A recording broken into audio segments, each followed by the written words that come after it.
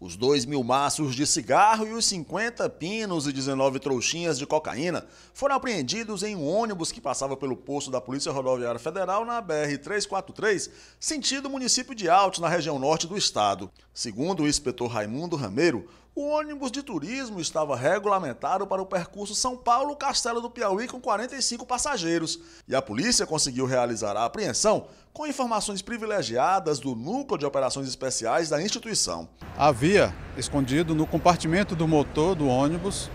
um total de 2 mil maços de cigarros e também é,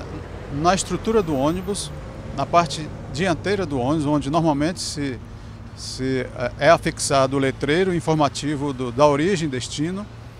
estava guardado um compartimento, um pequeno depósito com 72 é, papelotes de uma substância que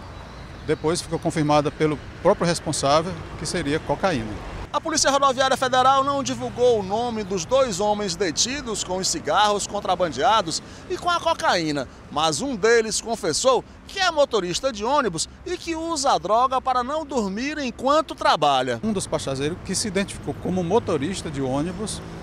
é, declarou-se responsável pela droga e a Polícia Rodoviária conseguiu apurar, inclusive, um fato grave em relação a isso, é que esse motorista declarou que fazia uso do entorpecente para manter-se acordado nas longas viagens que fazia com passageiros de São Paulo para a região Nordeste, principalmente aqui para o estado do Piauí. Então essa é uma questão que chamou a atenção da Polícia Rodoviária Federal, porque já sabíamos que os motoristas de caminhões faziam uso desse tipo de droga. Agora, mais preocupante, é, os motoristas de ônibus estão fazendo uso